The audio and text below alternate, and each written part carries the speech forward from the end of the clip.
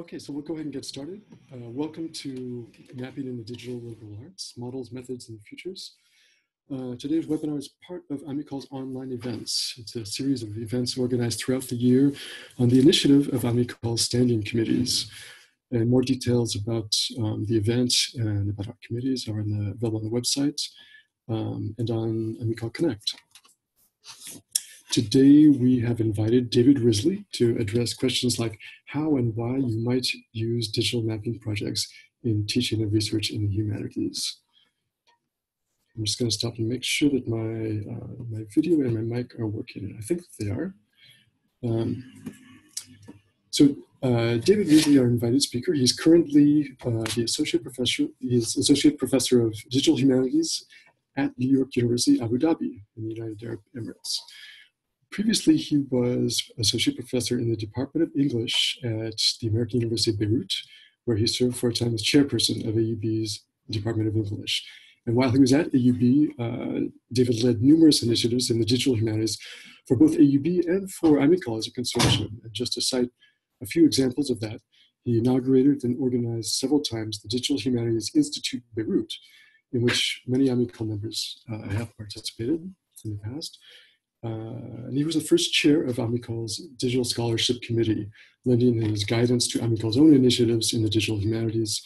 David, in fact, sparked the original idea to organize a cohort of Amical members to send together uh, to the Digital Humanities Summer Institute. And this webinar was, in fact, organized in part to support that cohort of Amical members going to DHSI and to, to, help uh, support their work on their projects uh, in particular projects that are focused on mapping. And so today's event is therefore going to have two parts. The first hour is open to anyone that's interested. Um, David will uh, give his presentation, and then towards the end of the hour, open the open the floor up to Q and A. Uh, then we'll close um, this Zoom meeting, and um, during the second hour, there will be a closed meeting that's reserved just for members of the Amical cohort that's going to DHSI for consultation with David on their mapping projects. And there's a separate link to that meeting um, that has been sent to the cohort members for that closed meeting. So um, if you're part of the cohort, you want and you are interested in participating in that consultation meeting afterwards, um, if you didn't get that link or you lost it, um, just send a quick uh, email or message to, to, to, to me or Alex. And with that, I'll hand it to David to start the webinar. Okay, so I think I am I unmuted? Are people hearing me? Raise your hand if you hear me, just so I see some faces. Great, awesome. So good afternoon, good morning, wherever you are. I'm here in steamy Abu Dhabi. It's um, pushing 30 something today. Summer has arrived. I know that some of you are still in the middle of your springs or maybe even something that seems less like spring. Um, it's really great to be back.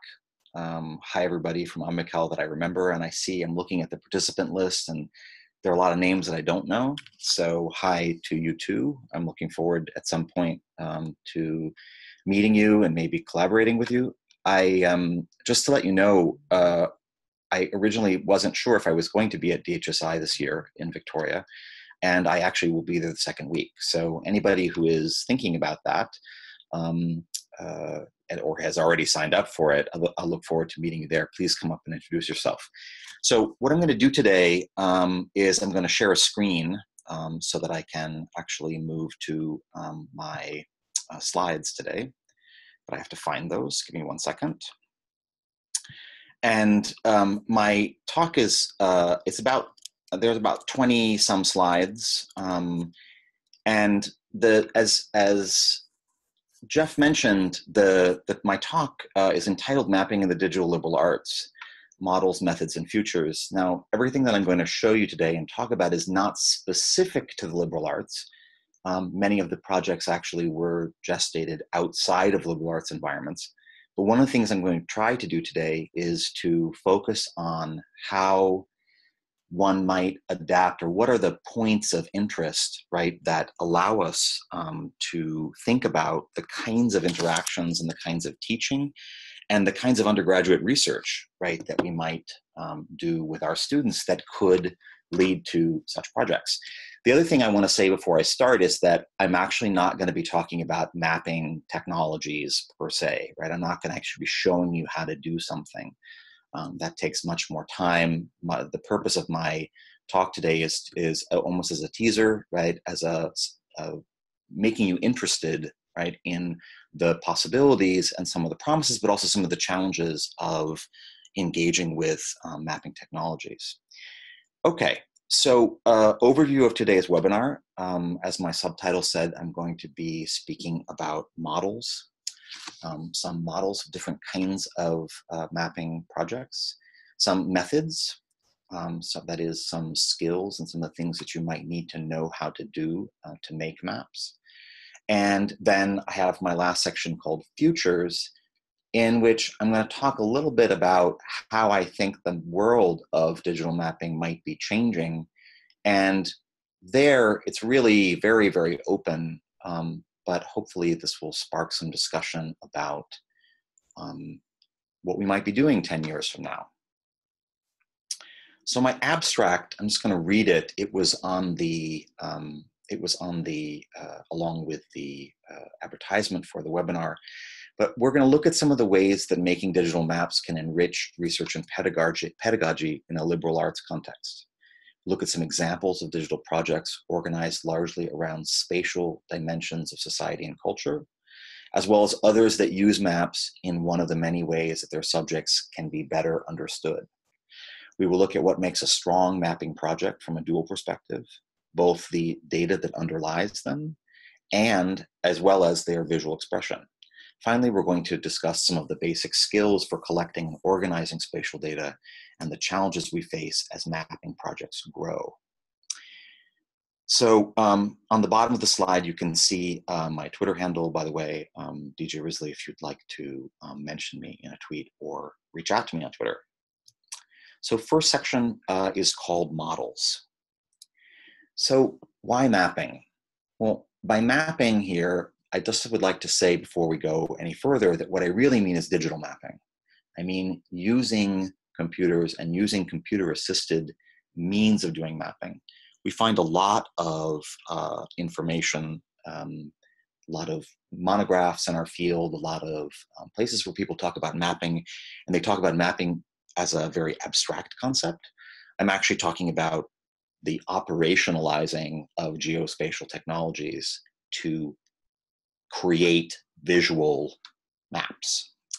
So I think that one of the reasons that mapping is interesting um, in the digital liberal arts is that it's subject agnostic. And what I mean by that is that it's not just geographers, right, or even social or economic historians who are doing maps or making maps anymore, but really it can reach out to lots of different fields.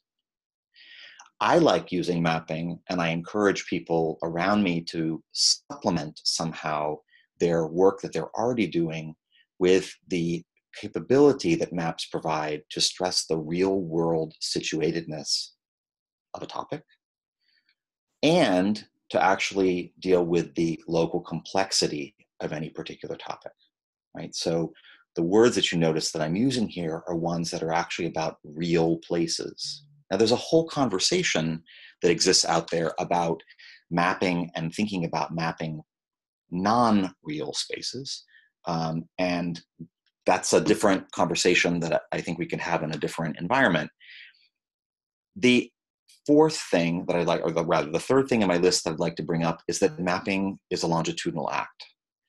And so, quoting from Presner and others talk, in their Hypercities book, they talk about mapping not being a one time thing, right? So, it's not that we just make a map and we stop.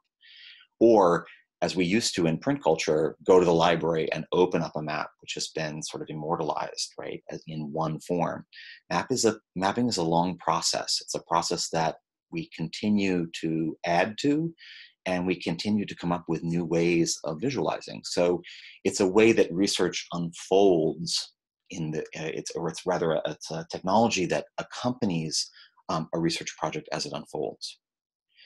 Next, I think that mapping is really important when it's intentional and it's critical. And this is a way in which actually my work has begun to um, shift uh, in the last couple years. Uh, I'm interested in the fact because, of course, mapping technologies have always been related to, um, or they rather were born out of, uh, military um, technologies, right? And I think we see more and more with things like the Cambridge Analytica group and the leaks that took place in Facebook that we are being mapped, right, in some way. The information about the IP addresses that we use, or information about the locations in which we're actually found, um, that our phones are geolocating, those are producing a map about us. And so I think one of the things which is interesting about actually using mapping technology in the classroom or in your research is that you have to first of all be aware of those things, be aware of the of the technologies that underlie the processes of that we're working with. But also one can then rise above those right or assert in a very critical means something else besides that mapping of us finally why mapping i say that it's a very data centered act i think that mapping eh, that i have done in the classroom has really been excellent for teaching both myself uh, and my colleagues but also my students data literacy and manipulation skills. So those things are my kind of, that's my beginning point today. Um, some of the reasons why you might want to think about mapping, begin to actively produce maps um, that are um, about the topics that uh, interest you. And I think that it's far from being just a kind of quantitative and or um, uh, let's say sort of technical process. I think it's actually mapping is a very fascinating intellectual act. So, what I'd like to do here um, is just uh, b- before I uh, before I uh, continue on any further, I just want to make sure that everybody has been hearing me. Can I just see a hand raise the hands? You're hearing me and you're seeing my slides. Great, awesome. So, because sometimes when you're giving a presentation, you're just talking into the void and you have no idea if the connection is cut or if anything else um, is going wrong. All right, so let's go back to um, uh, sharing my uh, my screen, and I'm going to now. I should see you should see my slides again. Hand up if you see my slides again. No, not yet. Slides again. Okay, I'm seeing my slides, so I'm assuming that's what everybody else is seeing. So um, now I'd like to ask the question, why mapping for the international liberal arts model? Now, you see that I put international inside of parentheses here. I think that something about our liberal arts model, right, is global. Um, but the, the audience that I'm actually targeting here, because I know this is web uh, webinar is being recorded, is specifically the kinds of institutions that belong to the Amical Consortium. So we see actually there's a nice little map that the Amical Consortium has made, right, of those institutions on the right-hand part of the slide. One of the things that's interesting about those particular institutions is they are very different sometimes from the sister institutions of the same place, right? So they have a particular close relationship to locality or to place, right? They have a particular relationship to even to a set of people who have actually been sort of maintaining and, and, and been the stewards, right, of those institutions in those places. So because liberal arts colleges in general are very place-centered, I think that mapping allows us to think about experiential learning, right? It allows us to take research into the place in which we are and to explore something about that. Next, I would say that the liberal arts model, there's been a lot of talk about bringing primary sources into the classroom. And maps and mapping, as we're going to talk about a little bit later, sometimes rely upon historical artifacts. They definitely uh, rely upon text sometimes, sometimes on archives, sometimes on the metadata that we have about objects in our archive. And so the act of mapping, I believe, helps us bring those, bring in another way, not just through let's say, uh, content management systems or Omeka exhibits or that. It allows us to bring primary sources into the classroom where we are analyzing, manipulating, and drawing information from those. the third reason I think that the liberal arts model, um, because we're very interested in liberal arts institutions and different learning styles, that maps as that have a very visual output are very interesting as a complementary um, form of pedagogy. Um, they require students to read. They were actually require students to read very closely sometimes, right, to create them. But then the outputs are not simply prose writing outputs. And I think that this is not only just part of the zeitgeist of the 20 of the of our century, right, but also very, very useful for the generation um, that we're teaching right now. Since that Amical consortium was spread around Europe, Africa, and the MENA and South and South Asia, um, even to Central Asia, right? I guess we'd have to say Manasaka, right? I guess for to get all of those people in. Um, we we act very often in our institutions in some kind of role of cultural ambassadorship. And what I mean by that is that because we operate in English, because we have this kind of connectivity to other parts of the world via North America or via consortium like Amical that represent those institutions, we have this capacity to speak for the place that we're actually in. And I think that maps, but also digital humanities projects in general, because they sit in a screen based way very often disseminating the results on the internet have a particular voice to them, which is very important. And finally, for the liberal arts model, I think that many countries, in particular in the wake, even before the, the Facebook leaks, some of the countries in Western Europe, let's say, certainly in North America, have thought a lot about privacy in the 21st century and what that means. And because we're carrying devices, and especially our students who live in a very device centered world, they, uh, they're not always aware of the fact that they're actually creating maps all the time. And what I mean by that is that their phones and their devices that are geolocating all the time are leaving traces of data all over the place that allow certain like geo profiles, right, to be created about them. So I think thinking about mapping intentionally and directly for a research project um, opens up a kind of a window for a critical discussion, for a critical pedagogy that is very, very relevant in the 21st century. So this is the part of the of, of the seminar where I'm actually going to talk, the webinar that I'm going to talk a little bit about some projects um, again, these projects are not necessarily emerging from liberal arts environments, but I think they show some, one of the ways, one of those points that I made about very local knowledges um, being represented by maps and on maps. So this is a project called Going to the Show that was put together by historians and geographers in North Carolina, at the University of North Carolina. And by the way, whenever I have one of these um, uh, one of these uh, screenshots. The screenshot is should be accompanied on the right hand side or on the left hand side by a web link um, that will actually lead you to the project in case you'd like to go learn a little bit more about it later.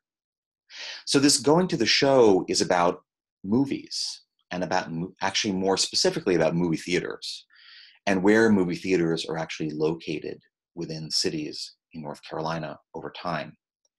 Now, what's really interesting, I mean, I just picked this one particular city, the city of Albemarle in the eastern part of North Carolina, but one sees already, right, in the interface where we have the map in the center, which we recognize as being a Google, a Google map base, we have all kinds of other things, other ways in which that map is um, connected to other ways of seeing and viewing, even filtering data, right? What's really going on here is we have a small database of particular movie theaters historically. Those are connected to time. We have a we have a marker of time, and then we have some other things about them um, that we get to do as a user. This is a, a map that invites us to interact with it. You can see along the left hand side, right there are these little check boxes that allow certain things to um, to uh, be turned on and off. In particular, we have active and inactive movie theaters, right? Like somehow there was an important, it seemed important to the project creators to talk about movie theaters that had died. we happen to have done a very similar kind of project at the American University of Beirut in a senior seminar that I gave where we were talking about bookstores, right? And it was a similar kind of a thing. We're thinking about bookstores, and in the particular case of Beirut, bookstores and gentrification and how print culture is changing in space over time. Now, the other thing which is interesting and important, which I'll just mention in passing here, is that you notice that there's both a Google satellite view and then there are some other kind of beige colored um, map tiles that are, maps that are underneath um, these blue tickets. And these are actually an interesting thing when we have um, certain cultures of the world where we happen to have had very robust mapping cultures. We happen to have a lot of information already mapped. Um, and so these actually turn out to be fire insurance maps that were created in the United States, which underlie, sit, literally sit underneath the data of a lot of materials, a lot of uh, spatial humanities projects having to do with the United States. Those happen to be digitized. They're really good windows into the past, right? I mean, a particular window into the past of commercial spaces, in particular the sort that would be um, insured. They're not open windows to everything about the past, but they do tell us something and they're very useful for certain kinds of projects. Next project that I'd like to bring um, up is called Placing Segregation, done at the University of Iowa. And this is really just a screenshot of the, um, of the, of the landing page of that project. And what's interesting here is we have a number of United States cities, and those cities are looked at um, from the perspective of race. And I think one of the really, really interesting um, new uh, fields right, in critical race studies nowadays has to do with the spatialization of race, of, of segregation, right? And so this one, this project has lots of possibilities and lots of ways that it could expand, right, to, to encompass uh, large teams of researchers who are interested in different aspects of uh, social and economic and cultural history of American cities. Um, it's a project that I would invite you to explore. It's really too complicated to do justice to um, on just a slide.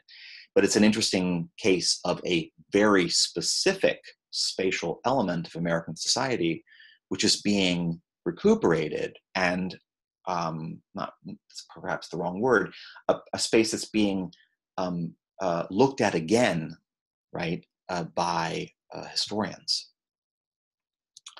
The third project I, I just became aware of uh, a couple nights ago. Um, a student, a former student of mine, who's now a Marie Curie Fellow, went and using actually quite a simple um, platform. This is called uh, StoryMaps.js. Created um, and was interested as a part of a postdoctoral project in looking at street art. And so, in particular, he focuses here, this is just one of the slides of a spatial storytelling um, uh, site. And the he picks one particular city, and this has to do with Rome. And so I picked this slide because it just looked good. But what you see here, right, is you see this kind of the the intervention of um, street poets, right, who stick poetry into the urban landscape, handwritten and then uh, sort of affixed um, to different surfaces around the city. And what this particular story does, this story map does, is it opens and unfolds a bit like one might do with, I guess, like almost sort of like a graphic novel or like a, I don't know, maybe like a blog or something. In other words, you have a mixture of texts and images, images, and then along the left-hand side here, um, one sees actually the locations of those things. This is an, a very recent project. Um, it's actually a project that interestingly has been remade across different platforms using the same data, right? I mean, one of the things that I hope becomes clear over the course of this very introductory seminar about mapping is that the kind of the underlying part of how all of these projects work is hard, the hard work, right, of the collection and the curation of data. Then that data is then visualized in different manners, um, some of which are more appropriate for different kinds of projects and different kinds of problems. This project is actually a project that I ran in 2015, 2016 at the American University of Beirut. It's called Linguistic Landscapes of Beirut. And what you see here is a, a kind of a very very kind of dramatic, if you like, um, image uh, coming from the south of the city of Beirut um, in Google Earth, where which we actually laid a portion of the data. But what the purpose of this project was was to actually again use the fact that we were actually in the space of the city to our benefit and to learn something about um, multilingualism. And if you anyone here is from Beirut, yay yay, or anybody in here uh, from Amical who has been to an event in Beirut, you'll know that when you walk through the streets of Beirut, there's an enormous amount of multilingual but also multi-script expression in public written language. And so what we were doing here is we were collecting the information, students and instructors, collecting in the streets as we moved around. And so this actually leveraged the possibility of smartphones and what how smartphones geolocate as a way of intentionally mapping our landscape, taking stock of some of the aspects of our landscape that are the most interesting to us, and which incidentally have never been thought about in such a data like manner. One of the things that's important to me being a digital humanist living in the Middle East is that I think we actually believe we when we begin to create data from the inside of our societies, that interestingly we get to overturn or rather supplant to change perhaps the opinion of people who have only heard stories about our societies on the outside or from people written on the outside. And so what this project has really done is really shown some fantastically interesting patterns of not just single languages, but rather patterns in script and, in particular, pairs of two languages together. In other words, the Lebanese in their space tend to use different pairs, and then they tend to use one or the other script in a way which is somehow location or site specific.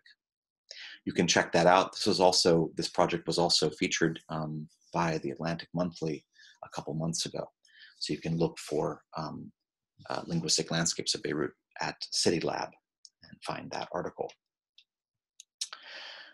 Finally, I think this is finally, I'm just saying, no, not finally, um, almost finally, um, as a new project that I'm working on um, here at NYU in Abu Dhabi with some colleagues, and this brings together some colleagues um, from history, uh, digital humanities, myself, um, from Gulf studies, and from legal studies and we're calling that project, well, I, have called the slide here Mapping Colonial Knowledge. And that sort of gets at the opposite side of what the previous slide showed. So if, if the linguistic landscapes of Beirut was about mapping from the inside, right, this is actually about mapping sources that were created um, by the British Indian government about the region in which we live. And so what we've done is we've worked on extracting um, place names that are mentioned uh, across these large sources and then mapping them and thinking about them in relationship to other forms of mapping of other issues having to do with colonialism.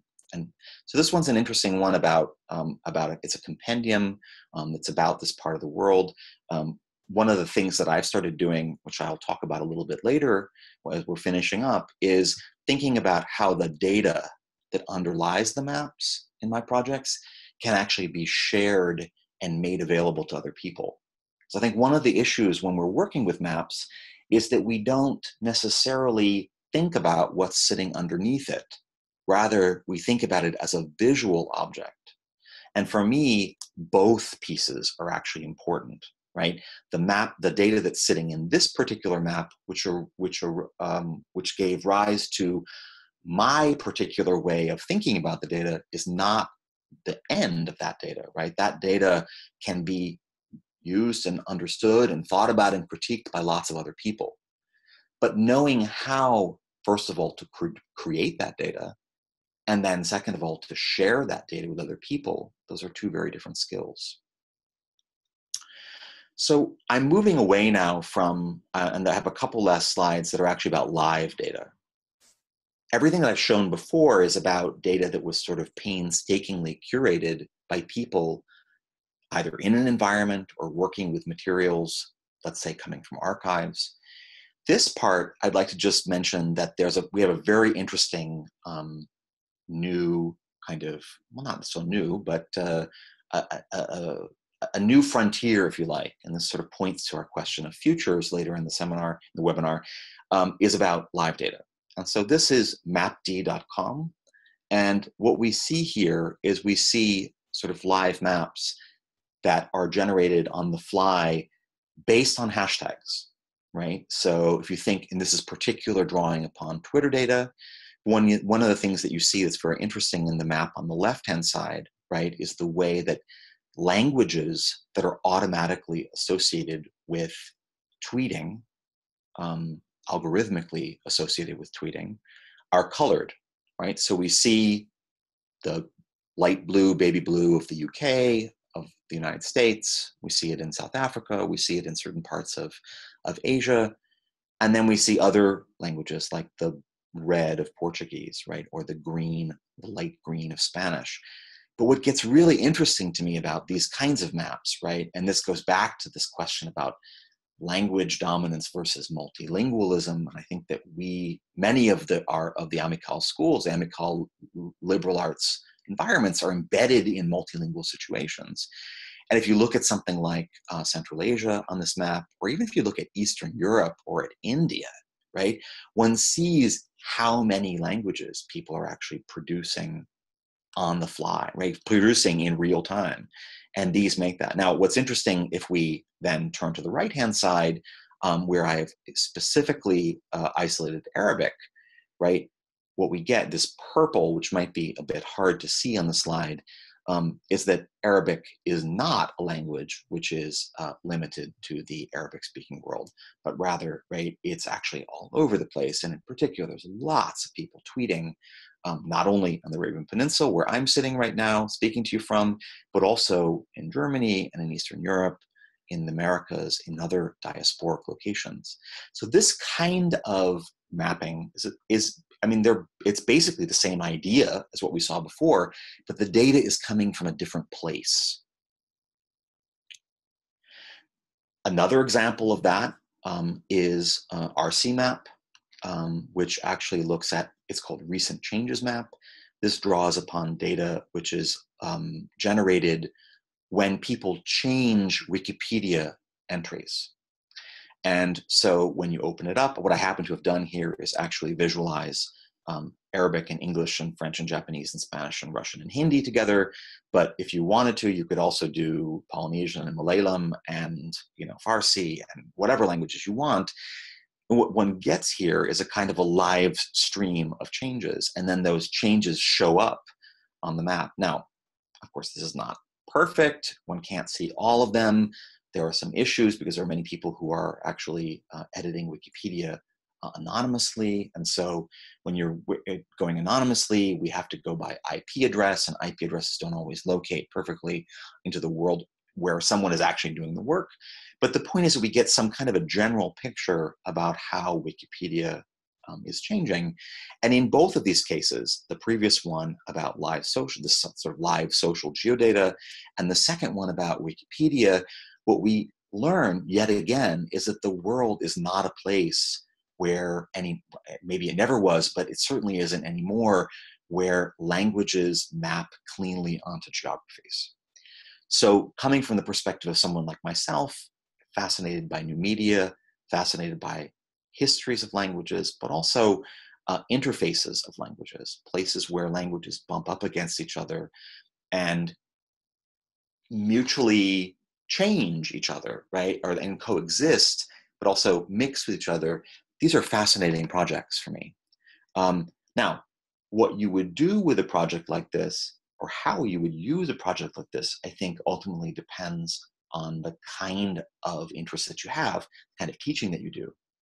So all of those projects that I that we've seen so far, they go, um, they're they're very useful, right? Like you can, they're actually acts of scholarship in a way, right? They're they're showing us something about our topics or topics of interest to us and space or place, location that we haven't been able to do before. Now, what's interesting is, I think, is to what extent we like to see ourselves as passive consumers of such projects, because of course all of those could be used in our classes. I have lists and lists and lists of many, many different projects like this that I use when I teach mapping and I teach the spatial humanities. And, or rather, the extent to which we actually want to be active producers of such maps, right? We want to actually step in and make those maps come about in the environments in which we are working and on the topics which we care about. So just to finish with this little section, this is an alternative visualization. This is actually created by a robot, right? Or like a robot editor in Wikipedia. These are all of the, the edits taking place in Wikipedia at a given time. They can also become extremely complicated, right? So data is not just clean and doesn't just show up on a map perfectly. It actually has to be tamed in some way. It has to be curated and it has to be um, worked on, right? So that a map tells you a story that you want, to, uh, tells, tells a story that you want it to tell. So the second section, uh, and the, these uh, two other sections are going to be significantly smaller um, in length, shorter in length. This one's called, I called it methods. Now, what do I mean by methods? Well, I'm, I'm going back now from, we talked, we asked the question why one does mapping um, to begin with and then why we do it in international liberal arts environments. And then we looked at some, maybe the what do maps look like. Um, we saw some examples of those. But how do we actually make those maps? Like, how do we actually, and I say here, build a map. Now that might be a weird mixed metaphor that's that's that's that's not well placed here, but maps are actually constructed, right? They have lots of pieces to them. So in the courses that I teach on mapping, um, one of the things that people really want to do very often is build maps from texts. So, what kinds of things are available to us if we actually want to work from texts? Well, we can extract manually, or even if we know a little bit more about programming, we can extract place names from texts. Right? These are, this is a process called map, um, named entity recognition. And so, if we get good at it, we can actually we can do it as a, as a reader. We can create a pattern for how we might want to do it, and we can begin to extract. So some people, um, I see uh, that Kristen Highland is on the on the call, right? Has done work, really interesting work about extracting addresses, right, from catalogs.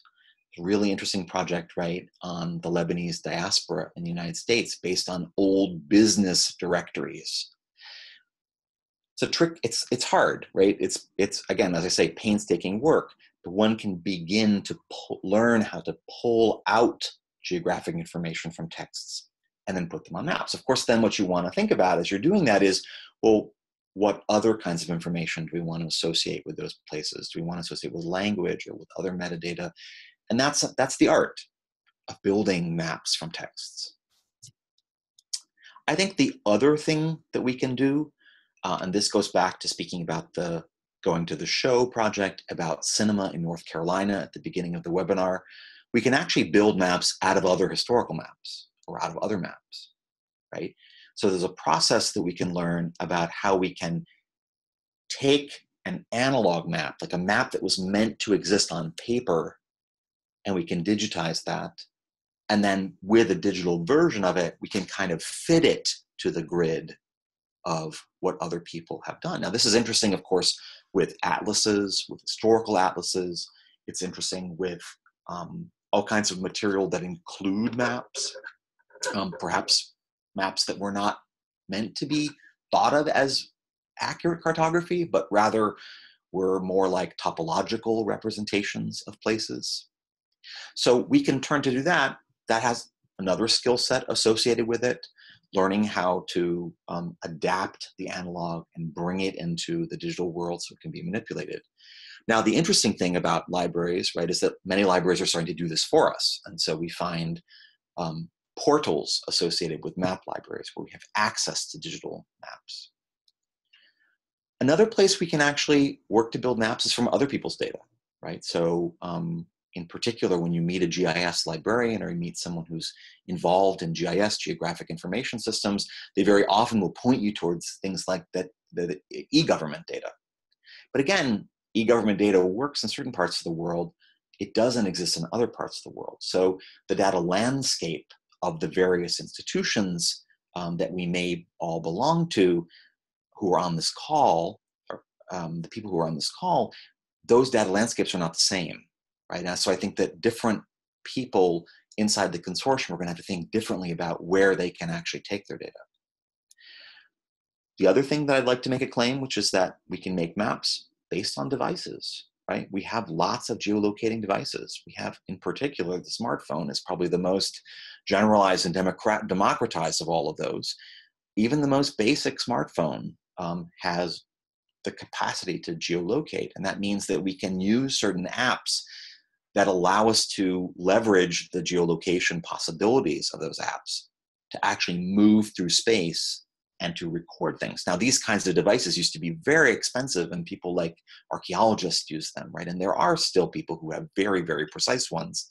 I think that for most of our purposes, for the kind of um, imprecise maps that people um, in the liberal arts tend to make, and I say imprecise um, between scare quotes, um, that the smartphone tends to be enough.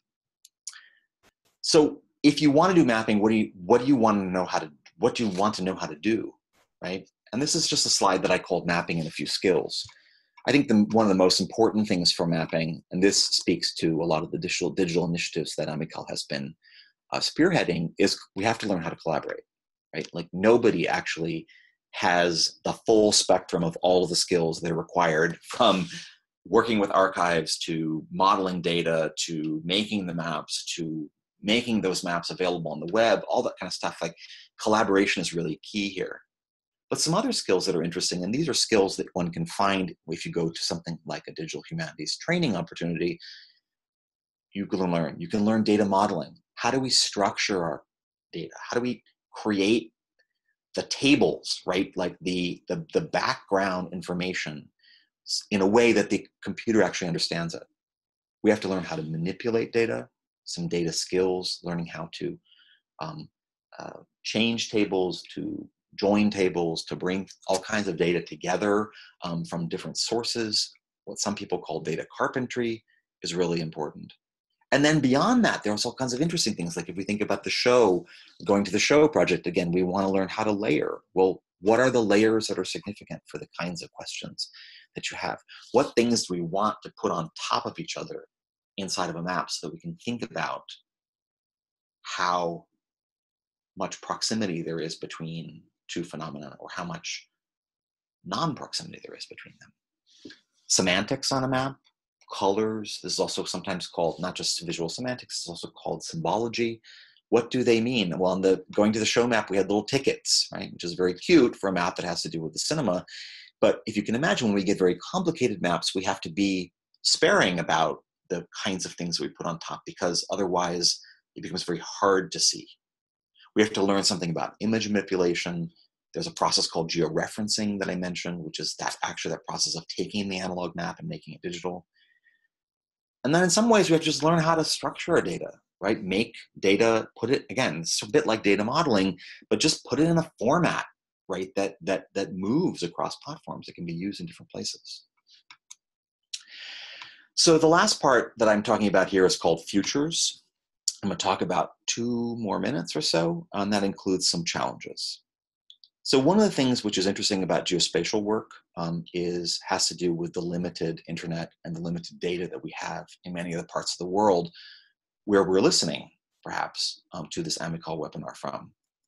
This actually, the I apologize, the uh, address for this actually got buried underneath the, uh, the image, but this is from the FOSS4G community. This is for open source um, geospatial uh, information. And, you know, one of the problems in the geospatial community is how much, how many licenses you have or how to buy into those licenses. There are lots and lots of ways of storing and visualizing your materials.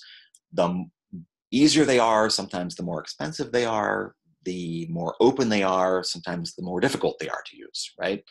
Um, one of the things that I just wanted to bring attention to here is this is actually a conference which is going on in August in Dar es Salaam. And the idea here is geospatial work for a place like Africa.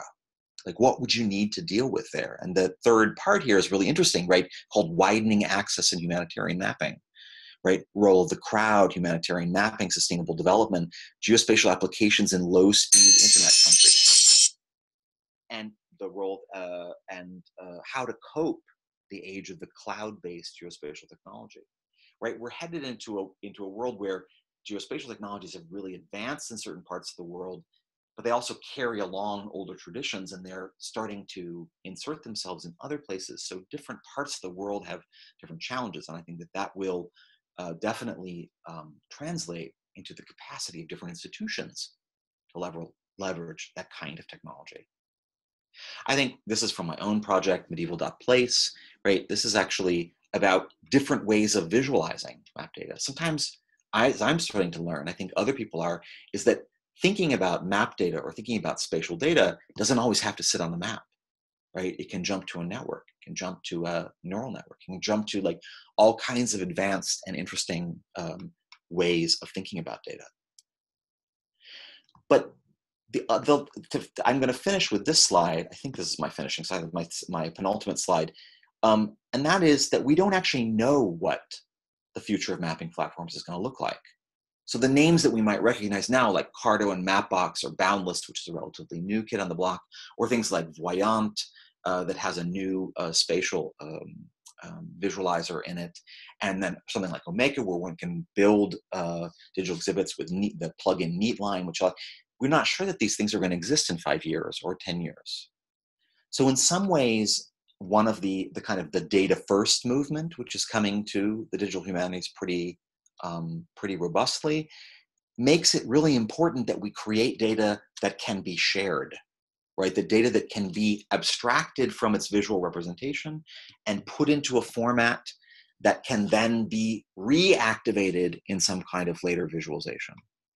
I think one of the things that we're going to be looking at very soon, if not what's emerging right now, are the appearance of open data portals of the sort we're talking about, sort of live data, government data, more data that's out there.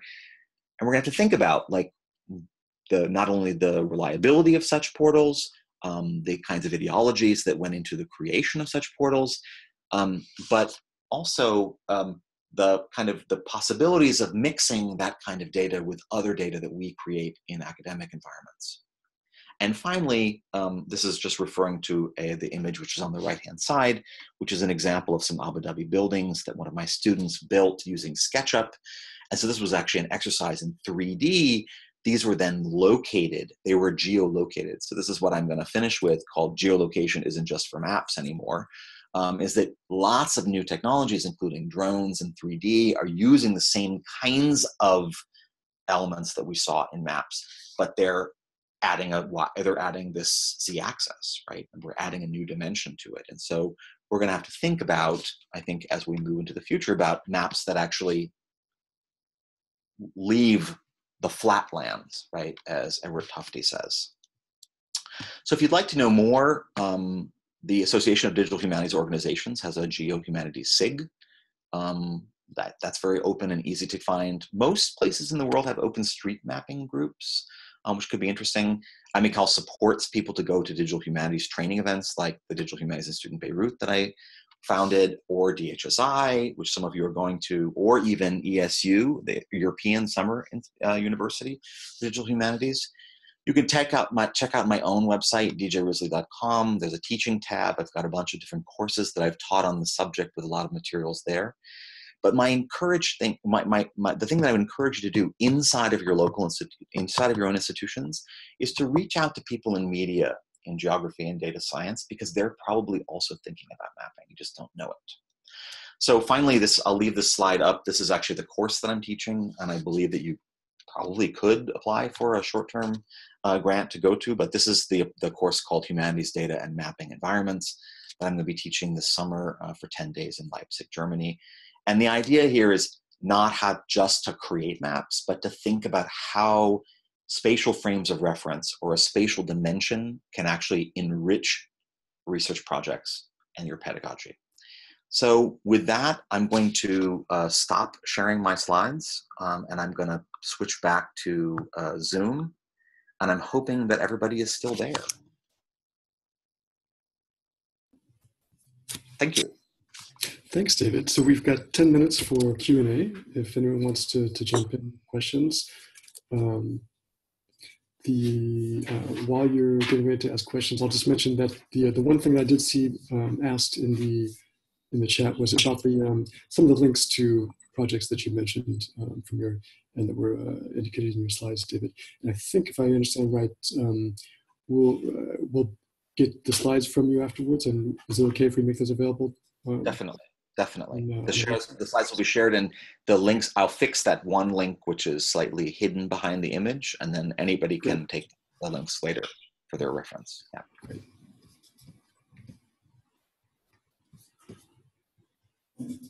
So if you have a question, feel free to unmute yourself and just jump in. Or if you have problems using the uh, using audio, you can put your questions in the chat on the on the right.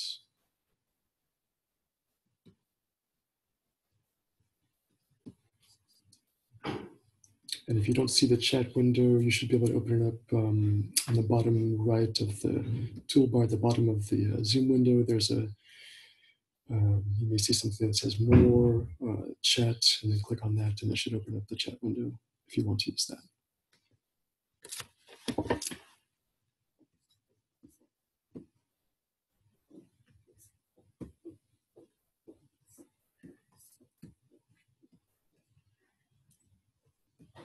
I'm going to go ahead and just jump in with a question while we're waiting for others. Um, but please, I encourage you to just cut me off if you've got your own questions. Um, uh, it's sometimes hard to see who's sort of getting ready to, to ask a question on, in these online meetings. Um, I want to ask a question, David, regarding the preservation of mapping data from these sort of class integrated projects, projects that might be developed in the context of a, of a class um, as a faculty member, I'm, I'm, thinking that you may have a different view from librarians or archivists, for example, about the, the need for the importance of conserving the data that comes out of those projects. Um, you, but uh, from your perspective, do you have recommendations about that, about um, um, ensuring the, the, the, longevity or the, the preservation of, of mapping data? And relatedly, what kind of opportunities do you see for I guess the, the reuse of that kind of data that's that comes out of a, a class-based project, um, either the, the, reuse of the data or the visualization of the uh, and interfaces that are that are produced for those. And I guess that sort of you mentioned something related to the data first movement, so you sort of answered part of that. But if, if you have anything else you want to add to that, I'd be interested. Right, great question. Thanks. So I think one of the problems, right, obviously, is that the data that we produce, particularly in something like, if you take, for example, the Linguistic Landscapes of Beirut project, right, we were creating data using a third-party um, service, right? It was not an open, fully open data. So when you're putting in materials into into a third-party um, uh, provider, um, so something, even if you're working with something like, you know, even an ArcGIS or one of the commercialized, because many of the things in, in the geospatial industry that are easy to use are commercialized, right? So um, if you're using those, you don't want to let your, your data sit out there um, in a startup's app, right? You know, even in the in a cloud service, because you actually don't know when that's going to shut down, right? And so we've seen actually in the last year, two years, lots of flux and lots of change as the geospatial um, technologies industry has really has has has migrated to other models right let's put it that way so the i think actually i mean again take the linguistic landscapes of beirut project what we've done is we've made sure that we capture um, and we make a full download of all the data. It's actually stored. We're hoping um, that the image data from that might be stored in an institutional repository but we're actually working on kind of another step of the data and we're just working on it in the open in github right? So uh, github which is a, a, versioning platform that most people use if you're like a programmer to share and move and to have data that's sort of out there in the world that other people can can build upon particularly code right not data of the sort that we're talking about but digital humanists are increasingly using github as a place to park their data to make their data available to other people and usable so I don't know if Amical necessarily needs to reproduce those systems, like right by creating their own sort of repositories. I think there are certainly some things out there. One thing that my home institution has is it has what's called geo, a GeoBlacklight instance, which is it basically has a repository for spatial data. And if you have a repository for spatial data, it allows for different kinds of formats, allows for vectors and polygons and point-based data and, and georeference maps and all the things that are sort of important to a spatial humanist to all sit together. I'm not sure that that's something that everybody in the world is going to migrate to, right? Like not everybody's going to have that. But I certainly think that of the fledgling projects that might come about in the spatial humanities, where basically what you're talking about in, in Amical, we were basically what you're talking about is structured tabular data, put it in GitHub. Create an Amical GitHub site for the data sets that Amical is working on. It's not, I mean, we we're not sure that GitHub will last forever, right? But it's certainly going to last longer, right, than say commercial, uh, you know, commercial hostings, which we don't know what will happen to. So that's my suggestion. Great, thanks. Other questions? And by the way, I'm open to completely baseline questions. I know I sound like a like a digital humanities nerd, but I'm but like can be anything like completely simple. Uh, what you think is maybe not even relevant in this environment. So please do not be shy.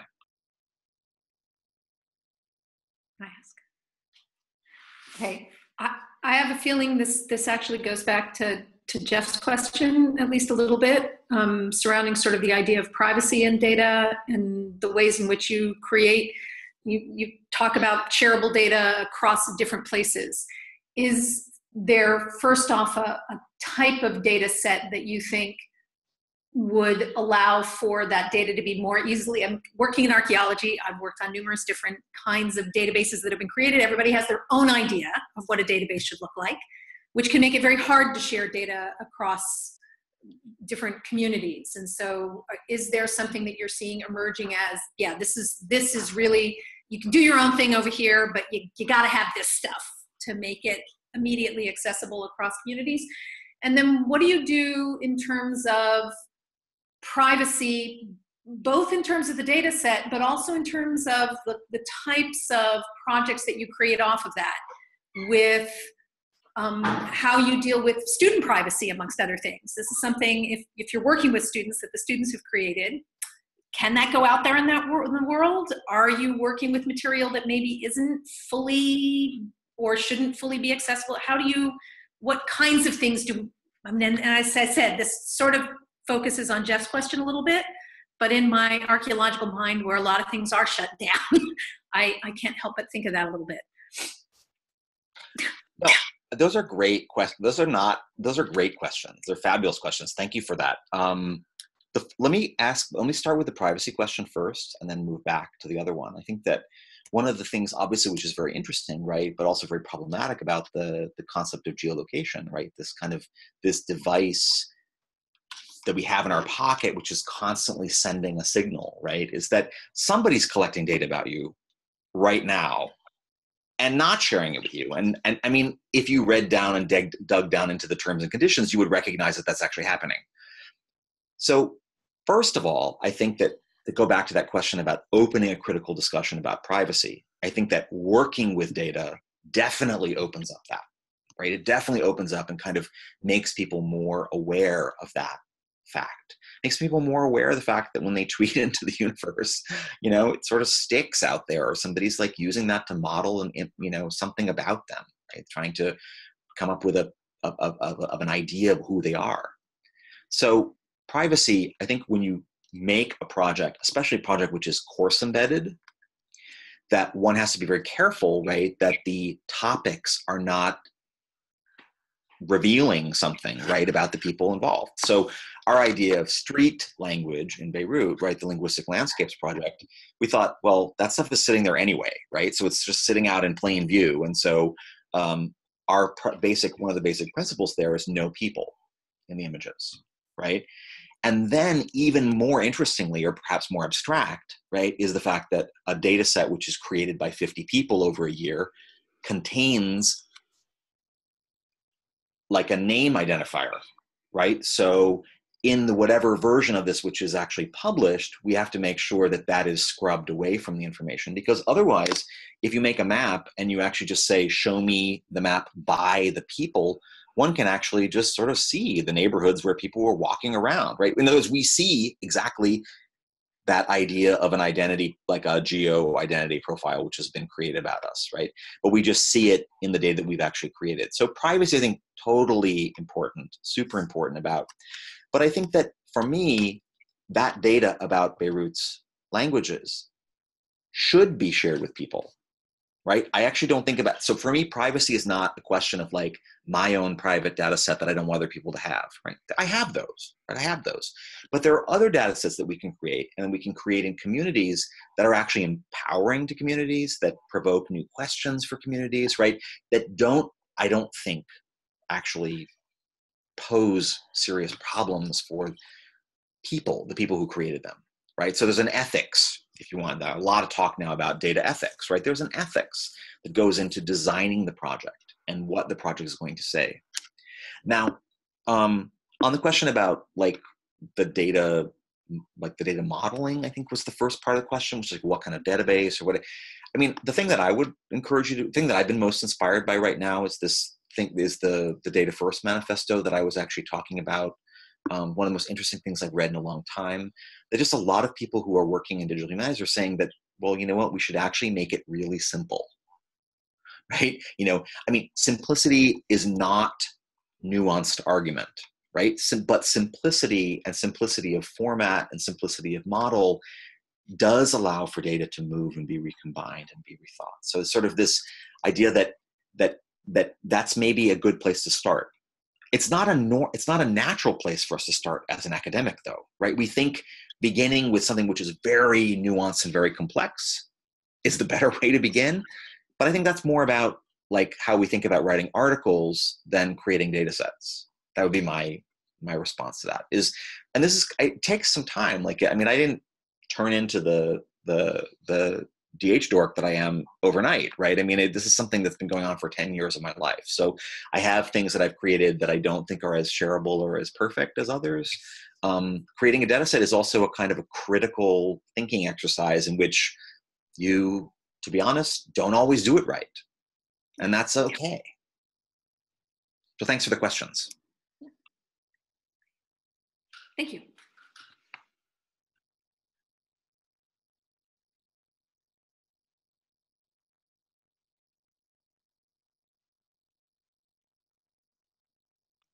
I'm not hearing you, Jeff.